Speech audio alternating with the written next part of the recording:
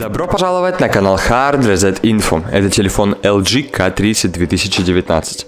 И сейчас я покажу вам, как на этом телефоне проверить свой номер email. Для того, чтобы это сделать, вначале нужно открыть приложение «Звонилка». После чего вам нужно вписать следующий код. Звездочка, решетка, 06.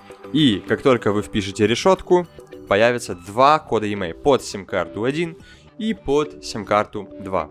Спасибо большое за просмотр, ставьте лайк, подписывайтесь на канал. До скорых встреч!